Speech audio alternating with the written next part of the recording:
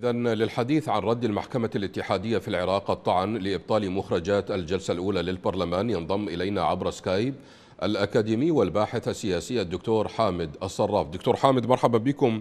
يعني كما جاء في التقرير المحكمة الاتحادية في العراق تقر بدستورية جلسة البرلمان وأيضا تقوم بإلغاء آه، قرار تعليق عمل هيئة الرئاسة. ولكن السؤال المطروح هنا والذي حقيقة يشغل الشارع العراقي كيف يمكن فهم تداعيات ذلك سياسيا في ظل آه، الصراع المستمر بين الميليشيات على المناصب الحكومية؟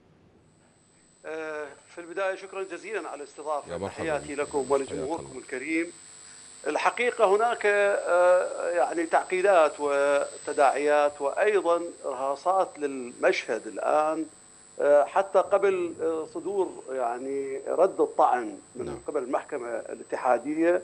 كان هناك توقعات واحتمالات كثيرة أهمها هي تصاعد وتيرة الصراع بين الكتل المتنافسة خصوصا التيار الصدري ودولة القانون أو الإطار آه، التنسيقي نعم. بشكل نعم. عام هذه الحقيقة الصراع سوف يأخذ أشكال مختلفة توقعناها وأنا أيضا على شاشتكم الكريمة ذكرت هذا الكلام من منذ أشهر أنه العملية لن تتوقف عند حد المحكمة الاتحادية وقراراتها تصل إلى أي مدى دكتور حامد؟ تصل إلى أي مدى؟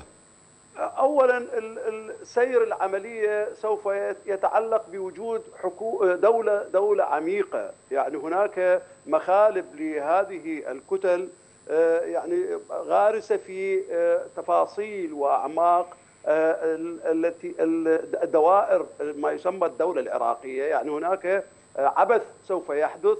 بالمؤسسات المدنية على الأقل في البداية تخريب واضح.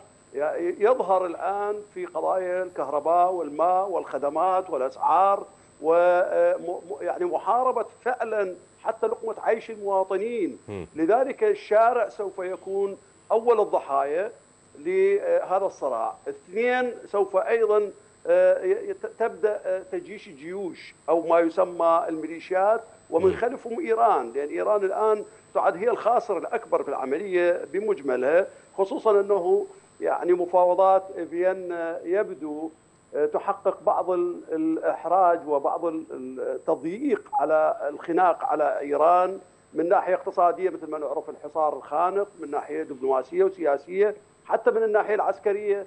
الآن الأساطيل والمناورات آه، أمريكا والناتو وإسرائيل وغيرها طبعا وأيضا مرتبط ب آه، يعني تصعيد أو أو تزايد وتيرة التوتر العسكري بين آه، الولايات المتحدة الأمريكية وروسيا وطبعا من ناحية اقتصادية بين الصين والأمريكان.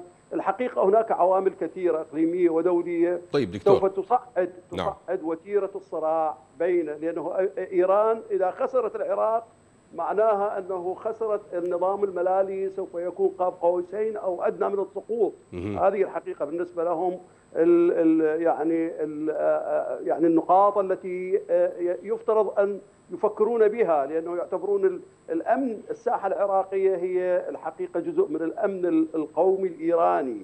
يعني ساحه خلفية للصراع إذا سقطت من أيديهم هذا هو الحقيقة دكتور المخاطر الكبرى. نعم. تفضلتم وقلتم بأن ربما سيكون هناك عبث بين الميليشيات لكن كيف سيؤثر هذا العبث على المواطن العراقي الذي لا ناقة له ولا جمل في هذا الصراع بين الميليشيات؟ الصراع اولا أخذ طابع التفجير تفجيرات بعض المقرات الأحزاب وحتى المنازل. لبعض أعضاء الكتل التي ائتلفت مع التيار الصدري. يعني كالحزب الديمقراطي الكردستاني وتقدم وعزم وغيرها. طبعا هذه يعني إذا كانت سنية وشيعية أو كردية.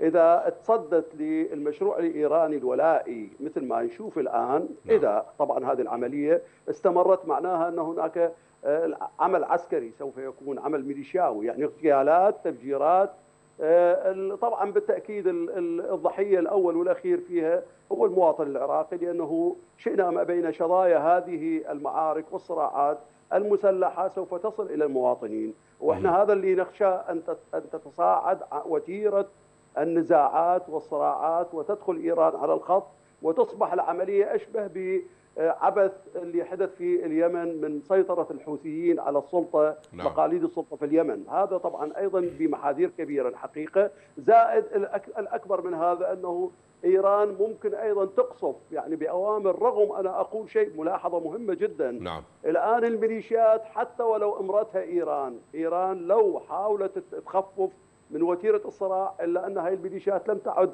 تحتاج إلى دعم إيراني لأنه قضية الميليشيات أصبحت قضية وجود إذا نعم. خسرت سوف لن تكفل إيران حياة هؤلاء زعماء هؤلاء الميليشيات، القضية أصبحت قضية حياة وموت، الدفاع عنهم ليس على بقائهم وامتيازاتهم بقدر ما أنه وجودهم بالذات نعم. ومستقبلهم ومحاكمة العراقيين لهم إذا سقط هذا النظام برمته. طيب دكتور عن زيارة قاآني آه، وصل إلى بغداد آه، محاولة أخرى للجمع بين طرفي الميليشيات هل من جديد يحمله قااني هذه المرة بعد أن فشل في المرات الثلاث الماضية؟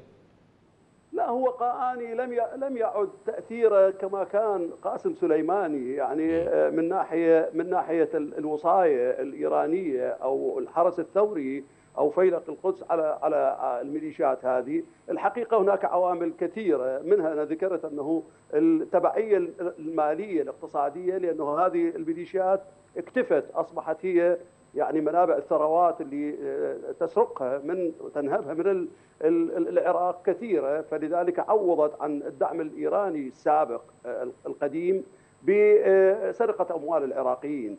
النقطة الثانية أيضا الخلل اللي موجود الصراع اللي موجود حتى داخل الميليشيات لم يعد الآن آه، موضع سيطرة إيران عليه يعني بالإمكان أنه فعلا يعني تكبح جماح بعض الزعماء الذين يرغبون بأن يتصدون إلى المشهد.